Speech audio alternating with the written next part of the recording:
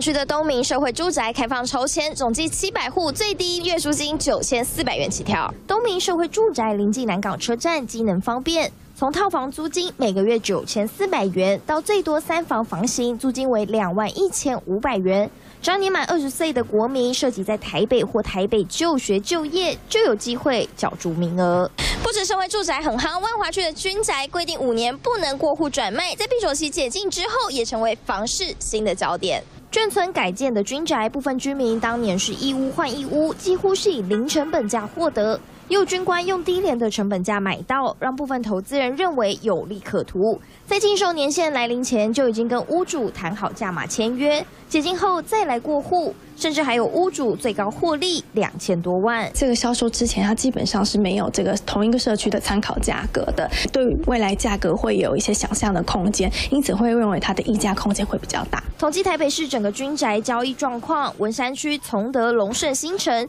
房价年增幅最高，近四年成长百分之八，其次是北投的明德敦品。松山和万华的军宅紧追在后，本来就有住户，就一定会有一定的生活机能，所以它通常这个地理位置不会太差。那再加上它并不是一个空城需要人移住，它本来就有原住户的，所以整体来讲，它通常就是形成那个区域机能或者它的生活有便利性呢，会相对比较高一些。掌握军宅低成本关键，让这寸土寸金的大台北地区，因为军宅交易引起一波购物热潮。三立新闻余春胡廖文台报道。